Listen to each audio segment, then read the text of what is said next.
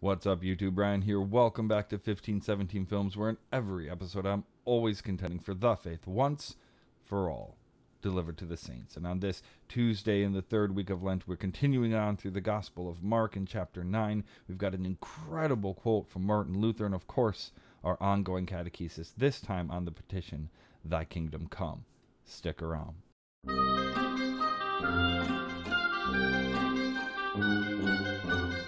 So, there's an ebb and flow to what we've been reading. Sometimes it's pretty cool to watch Jesus do all of these miracles and to know that he's the great healer, the great physician, the great caster out of demons, the great teacher, the great feeder of the multitudes, the one who has proclaimed that he has come to give his life as a ransom for many. But sometimes Jesus is relatively harsh, and this is going to be one of those times. So we continue in the Gospel of Mark, chapter 9, beginning at verse 33. And they came to Capernaum, and when Jesus was in the house, he asked them, What were you discussing on the way? But they kept silent, for on the way they had argued with one another about who was the greatest. And he sat down and called the twelve. And he said to them, If anyone would be first, he must be last of all and servant of all. And he took a child and put him in the midst of them, and taking him in his arms, he said to them, Whoever receives one such child in my name receives me. And whoever receives me receives not me, but him who sent me.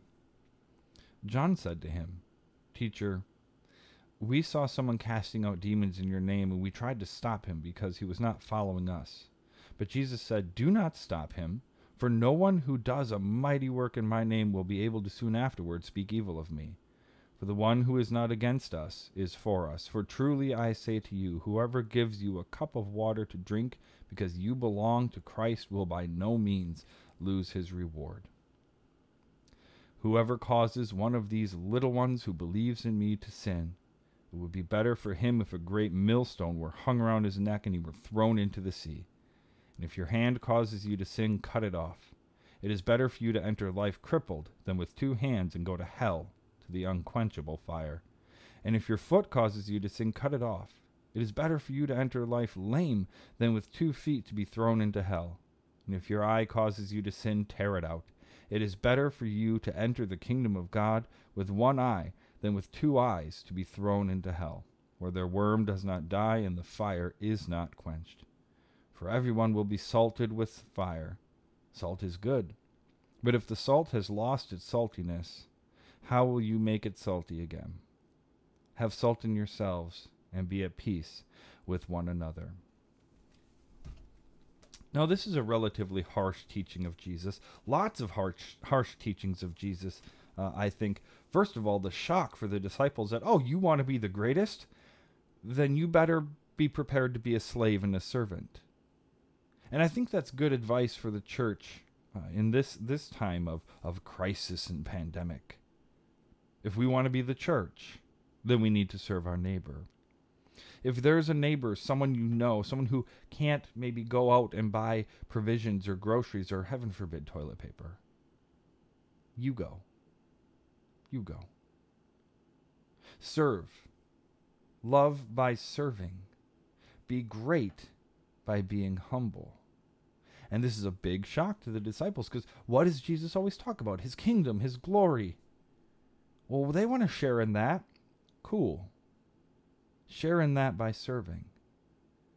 This teaching about causing a little one who believes in Jesus to sin.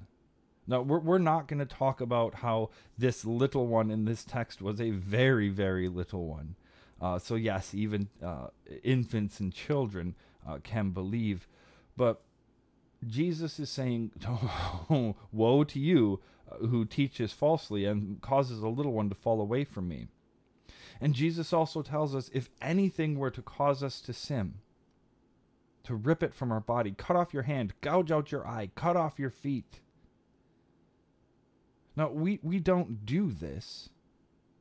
But as we come closer and closer to Holy Week, as we on the other side of the suffering, death, and resurrection of Jesus already know the story, we see the sinless Son of God giving his flesh to torment, seeing his flesh ripped out, seeing his eyes bruised shut, seeing him scourged and nailed and crowned with thorns and hung in our place, bearing this brutality to the flesh. And on top of that, drinking the cup of wrath which his Father has given to him to drink. Jesus has done this too for us. And so, in response to this, because Christ has set us free from sin, we are free not to mortify our flesh. His flesh was already mortified for us.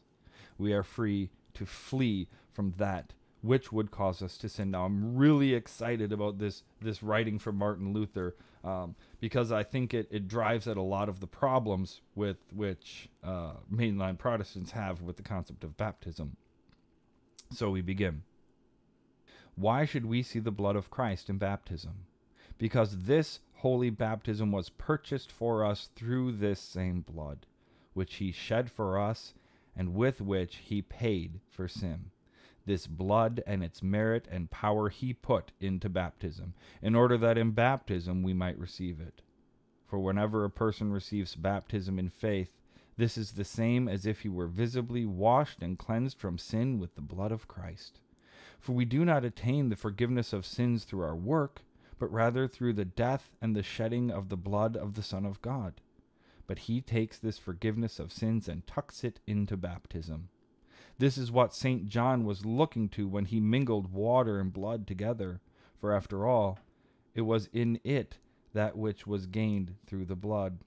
And thus John deems the person who is baptized as having been washed in the blood of Christ. His blood is not that of a sinful man or the blood of a dead goat or ox. It is innocent, just, and holy. It is a blood of life. Therefore, it also contains such strong salt and soap that wherever it touches sin and uncleanliness, it bites it and washes it all away, eats and destroys both sin and death in an instant. Thus, St. John pictures our dear baptism for us in this way, so that we shall not regard and look only at the clear water, for he says Christ comes not with water only, as the Anabaptists blaspheme, saying it is nothing but water but with the water and the blood. 1 John 5 6. Through such word, he desires to admonish us to see with spiritual eyes and see in baptism the beautiful, rosy red blood of Christ, which flowed and poured from his holy side. And therefore he calls those who have been baptized none other than those who have been bathed and cleansed in this same rosy red blood of Christ. wow. Uh, say what you will about Martin Luther, the man is brilliant. Now, we continue on on this Tuesday in the third week of Lent with our Lenten catechesis, this time on the petition of the Lord's Prayer. Oh, the second petition. Haha, yes, the second petition, Thy kingdom come. God's kingdom is nothing other than we learned in the Creed God sent his Son, Jesus Christ, our Lord, into the world to redeem and deliver us from the devil's power. 1 John 3 8. He sent him to bring us to himself and to govern us as a king of righteousness, life, and salvation against sin, death, and an evil conscience. For this reason, he has also given his Holy Spirit, who is to bring these things home to us by his holy word, and to illuminate and strengthen us in the faith by his power. We pray here in the first place that this may happen with us. We pray that his name may be so praised through God's holy word and a Christian life that we who have accepted it may abide and daily grow in it, and that it may gain approval and acceptance among other people. We pray that it may go forth with power throughout the world. First or Second Thessalonians 3 1. We pray that many may find entrance into the kingdom of grace. John 3 5. Be made partakers of redemption. Colossians 1 12 through 14, and be led to it by the Holy Spirit, Romans 8 14, so that we may all together remain forever in one kingdom now begun. In this petition, we pray for an eternal, inestimable treasure and everything God Himself possesses. This is far too great for any human heart to think about desiring, if God had not Himself commanded us to pray for the same. But because he is God, he also claims the honor of giving much more and more abundantly than anyone can understand. Ephesians 3:20. He is like an eternal, unfailing fountain. The more it pours forth and overflows, the more it continues to give. God desires nothing more seriously from us than that we ask him for much and great things. We pray. Everlasting Father, source of every blessing, mercifully direct and govern us by your Holy Spirit, that we may complete the works you have prepared for us to do. Through Jesus Christ, your Son, our Lord, who lives and reigns with you and the Holy Spirit, one God, now and forever. Amen. Until next time, may God richly bless you in the grace and mercy won for you by Jesus' vicarious death on the cross for all of your sins.